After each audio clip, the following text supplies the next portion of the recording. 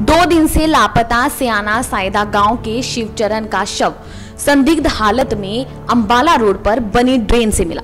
शिवचरण रविवार से घर से लापता था जिसे लेकर पुलिस के पास भी शिकायत दर्ज करवाई गई थी। ड्रेन में शव पड़ा होने की सूचना मिलने के बाद पुलिस ने मौके पर पहुंचकर शव को बाहर निकलवा कर उस, उसकी शिनाख्त करवाई। इस पर थाना प्रभारी देवेंद्र कुमार ने मौके पर पहुंचकर शव को पोस्टमार्टम के लिए भेजकर आगे की कार्रवाई शुरू कर दी है। कौन था ये व्यक्ति? क्या ये सैना सैदा का है और ये कल हमने एफ़ आई दर्ज कर दी तीन सौ चालीस का एफ़ दर्ज किया हुआ है।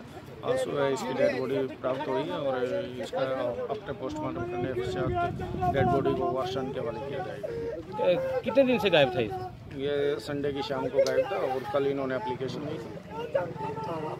तो क्या कोई हत्या की आशंका है? आफ्टर पोस्टमार्टम के पश्चात भारत नाइन के लिए पिहोवा से गगन सागर की रिपोर्ट।